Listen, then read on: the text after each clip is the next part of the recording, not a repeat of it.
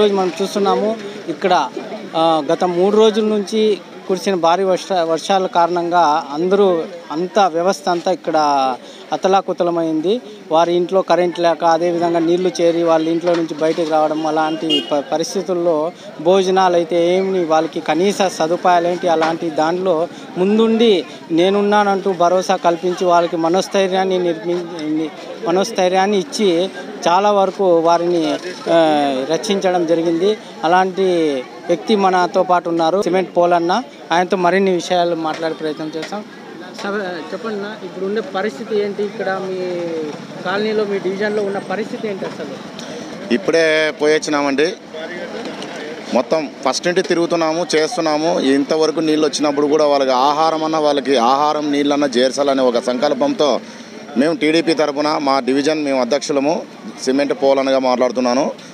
మేము మానవతంగా డివిజన్ కనీసం వాళ్ళకు అన్నము భోజనం అన్న సదుపాయాలు చేద్దామనే ఉద్దేశంతో వాళ్ళు ఎన్ని రోజులు ఇబ్బందుల్లో ఉన్నారు ఈ రోజు వరకు కొద్దిగా తగ్గినాయి. ఈ రోజు కూడా మేము భోజనాలు కార్యక్రమాలు పెడుతున్నాము. అయితే ఇదే భాగంగానే మొత్తం పోయి తిరిగేసి వచ్చినాము. ఒక్కొక్క ఇంట్లో దాదాపు అంటే బురద మన సైడ్ కాలువలే కంటే అర్థమానంగా ఉంది. అది క్లీన్ చేసుకునే దానికి కనీసం నీళ్ళు మున్సిపాలిటీ వాటర్ కూడా కల్పించలేని దుస్థితి ఈ ప్రభుత్వానిది. వాలంటీర్లు ఉన్నారు సచివాలయాలు ఉన్నారు సెక్రటరీలు ఉన్నారు గవర్నమెంట్ వాళ్ళు ఉన్నారు మేయర్లు ఉన్నారు కార్పొరేటర్లు ఉన్నారు ఎమ్మెల్యే ఉన్నాడు. వస్తున్నారు పోతున్నారు అంతే. కరెక్టే నీళ్ళు తగ్గినాయి. మళ్ళీ వాళ్ళు క్లీన్ చేసుకునే దానికి వాళ్ళకి ఏం చేయాలా? మున్సిపాలిటీ వాళ్ళు సిబ్బంది ఉంటారు. టూ క్లాస్ సిబ్బంది ఉండి వాళ్ళన్న పంపించి ఏదో ఒకటి చేయాలని చెప్పేసి మేము ఈ మీడియా ద్వారా కూడా తెలియజేస్తున్నాము. తర్వాత ఇంకోటి ప్రతిదీ ఒక్కటంటే ఒకటి కూడా లేవు. బీరువాలతో సహా వాళ్ళ చీరలు అయితేనేమి బట్టలు అయితేనేమి బియ్యం అయితేనేమి బ్యాళ్ళు అయితేనేమి స్టవ్లు కూడా కొన్ని ఇళ్ళలో స్టవ్లు కూడా కొట్టకపోయిన రోజులు ఉన్నాయి ఇప్పుడు వీళ్ళు ఏదో యాడో ఉండి వీళ్ళు కరెక్ట్గా అయినా నివేదిక వీళ్ళు ఇచ్చినింటే ఈ ఎమ్మెల్యే అయినా కానీ కార్పొరేటర్ అయినా కానీ కార్ ఈ మేయర్ అయినా కానీ మున్సిపల్ అధికారులు అయితేనేమి వీళ్ళంతా కరెక్ట్మైన నివేదిక ఇచ్చినింటే వాళ్ళు రెండు వేలు అని అనరు కదా. తక్షణమే వాళ్ళకి కావాల్సింది ఇప్పుడు ప్రజెంట్గా ఇప్పుడు వాళ్ళు ఇంటింటికి వచ్చేసి తక్షణమే ఒక ముప్పై వేలు నుంచి నలభై వేలు ఇస్తే వాళ్ళ సంసారం ఒక గాడిలోకి వస్తుంది. దాని తర్వాత ఎవరికైతే ఎక్కువ నాసిరకంగా అయిపోయిందో ఏ విధంగా కూలిపోయినాయో గోడలు కూలిపోయినాయి బా బాంది ఇది మన బాత్రూములు కూలిపోయినాయి. తర్వాత చాలామంది రేగుల సెట్లు ఉన్నాయి రేగులు లేచిపోయినాయి. ఈ విధంగా అన్నీ ఉన్నాయి కాబట్టి వాళ్ళు పరిశీలించి ఇప్పుడైనా కానీ ఖచ్చితంగా వాళ్ళకి వాళ్ళకు ఒక ప్రత్యామ్నాయం జరగాలని చెప్పేసి జరగకపోతే మాత్రం తీవ్రంగా ఉద్యమం రూపంలో ఖచ్చితంగా మళ్ళా ప్రభుత్వంని ముట్టడిస్తామని చెప్పేసి మీడియా ద్వారా కూడా ఖచ్చితంగా ప్రతిపక్ష నాయకుడుగా నేను ఈరోజే ఖండిస్తున్నాను. ఈ పొత్తుడికి కూడా కనీసము వాళ్ళు ఈ పొత్తుడు కూడా ఒక్కటంటే ఒకటి చేయలేకపోతున్నారంటే మేము మా ఏరియాలో మా డివిజన్లుగా మా ప్రజలకు మేము ఇక్కడ ఉన్నాం కాబట్టి ఖచ్చితంగా ఖచ్చితంగా మేము ఏదో వాళ్ళ బాగుపోతలు కనీసం అన్నము మంచినీళ్ళు అన్న పోస్తున్నాం. ఈ రోజు కూడా గవర్నమెంట్ ఏది పట్టించుకోకుండా ఊరికే అధికారులు చేస్తున్నారు మీడియా ఫోజులు ఇస్తున్నారు తప్పితే మిగతాది ఒక్కటి కూడా చేయలేదు. ఇది వాస్తవము. వాస్తవానికి వచ్చేసి మీడియా వస్తుంది ప్రజలు ప్రజలు ఇబ్బంది పడుతున్నారు. ప్రతిపక్ష నాయకులుగా మేము తిరుగుతున్నాం తప్పితే అధికార పార్టీ ఈ రోజుకి కూడా ఒక్కటి కూడా ఇది చేయలేదంటే కూడా దానికి ఒక ఆలోచన చేయాలా? ఈ రోజు నాలుగు రోజులు అయిపోతుంది దగ్గర దగ్గర. ఇంచుమించు నాలుగు రోజులు అయిపోతుంది. అయినా సరే ఒక ప్యాకెట్ ఇచ్చిన పాపాను లేదు. ఇప్పుడే గేర్ లేకపోతే ఎంతవరకు ఉన్న బోర్బండ్ల ఆదివారంలో జరిగే వాళ్ళవి తర్వాత ప్రతిపక్ష నాయకులు వస్తున్నారు తప్పితే అధికార పార్టీ వాళ్ళు ఏ ఒక్కరూ రాలేదని చెప్పేసి ఈ మీడియా ద్వారా గుండా వాళ్ళు చెప్తున్నారు. చాలామంది వాయిస్ కూడా తీపిచ్చినాము. ఈ విధంగా ఖచ్చితంగా ముఖ్యమంత్రి కానీ ఎమ్మెల్యే కానీ స్పందించి ఖచ్చితంగా వీళ్ళు వాళ్ళ స్పాట్లో ఇప్పుడు ఒక్కొక్క ఇంటికి వచ్చేసి ముప్పై వేల రూపాయలు ఇవ్వాలని చెప్పేసి డిమాండ్ చేస్తున్నాం. ఏదైతే పరిస్థితి ఇక్కడ ఉందో ఆ పరిస్థితి కూడా వివరించారు. అది అదేవిధంగా గ- ఇప్పుడు రాష్ట్ర ప్రభుత్వం ప్రకటించిన రెండు వేలు ఎక్కడ కూడా వారికి చాలదని అదేవిధంగా రెండు వేలు ఏ విధంగా నివేదికలు ఇచ్చారంటూ టీడీపీ నాయకులు మండిపట్టే మండిపడుతున్నారు అదేవిధంగా వీళ్ళకి చేత చేత కాకపోతే వాళ్ళు కూడా ఇచ్చే కానీ రెడీగా ఉన్నాము. అయితే మరిన్ని విషయాలు కూడా చెప్తామన్నారు ఆ నీళ్ళు వచ్చే కారణం ఏంటి అసలు? ముఖ్యంగా ఇది కారణం ఏంటంటే వాళ్ళు మొట్టమొదటి చేయాల్సింది నాలుగు బ్రిడ్జీలు ఉన్నాయండి. ఇప్పుడు ఎగ్జాంపుల్గా కలెక్టర్ వారికి కూడా వివరించినాం మేము. రుద్రంపేట నుంచి నడవంక వరకు క్లియర్గా ఉంది. అందుకే అక్కడ ఎవరి ఇళ్ళలోకి నీళ్ళు కూడా పోలేదు.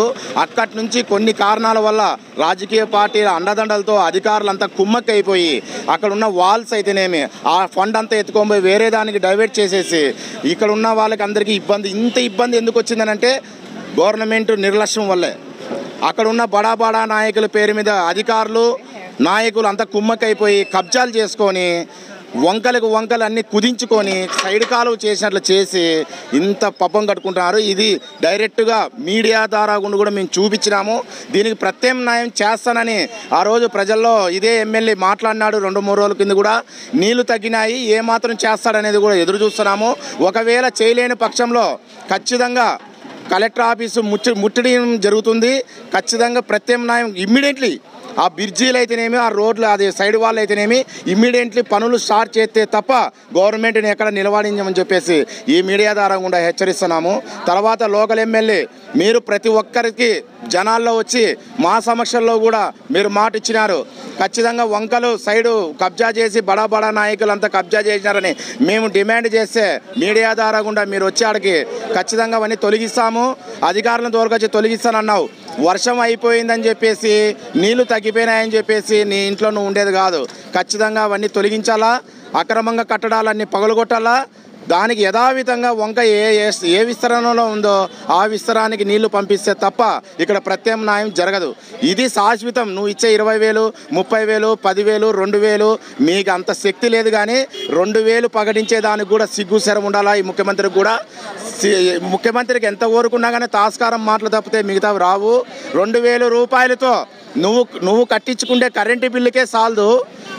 నువ్వు పెంచిన డీజిల్ బిల్లులు కరెంటు బిల్లులకే చాలదు. అన్ని ఛార్జీలు పెంచేసి నువ్వు రెండు వేల రూపాయలు వేతనం ఏమంటే బిచ్చమేస్తున్నావా? బిచ్చమేస్తున్నావా? నువ్వేమన్నా ప్రజలతో ట్యాక్స్ కట్టించుకోలేదా? చెత్త పండు కట్టించుకోలేదా? ఇంక ఇది హౌస్ ట్యాక్స్ కట్టించుకోలేదా? సైడ్ కాలువలు అని చెప్పేసి మిగతావన్నీ కట్టించుకోలేదా? రోంతన సిగ్గు శరం ఉందా? ఇంట్లో ఇల్లు ట్యాక్స్ వేలకు వేలు వసూలు చేస్తున్నారే.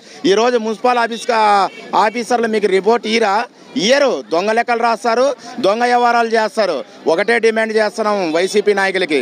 ఖచ్చితంగా ఇది మీరు ఇంతటితో అయిపోయింది అనుకుంటున్నారేమో. ప్రతిపక్ష నాయకులుగా ఈ వార్డు డివిజన్లుగా మేము వదిలిపెట్టేదే లేదు. కబద్దార్. ఖచ్చితంగా ఇవి ప్రత్యామ్నాయం చేస్తే తప్ప మేము ఖచ్చితంగా నీ ఇండ్లతో సహా వై- మన ఎమ్మెల్యే ఇప్పుడున్న ఎమ్మెల్యే ఉన్నాడు కదా ప్రజెంట్ ఇండ్లు ముట్టిడించైనా సరే మా హక్కులు మేము సాధించుకుంటామని చెప్పేసి బడా బడా నాయకులు కబ్జాలు చేసినట్టు కోర్టులు వేసి ఫిట్టింగ్లు పెట్టేసి ఆపేసినట్టు కూడా ఖచ్చితంగా అవన్నీ రిలీజ్ చేయించుకొని ఎమ్మెల్యే దగ్గరుండి వాళ్ళు బ్రిడ్జీలు శాంక్షన్ చేసేసి ఇమ్మీడియట్లీ స్టార్ట్ చేయాలని చెప్పేసి డిమాండ్ చేస్తున్నాం. ఇప్పుడున్న పరిస్థితుల గురించి అదేవిధంగా జనాలు పడుతున్న ఆవేదన గురించి అలాగే ఇప్పుడు ఏం జరిగింది ఏం జరగాలి శాశ్వత పరిష్కారం ఏ విధంగా చూపాలని క్లియర్ కట్గా ఈయన చెప్పడం జరిగింది. చూస్తున్నాండి డి త్రీ న్యూస్ అనంతపురం.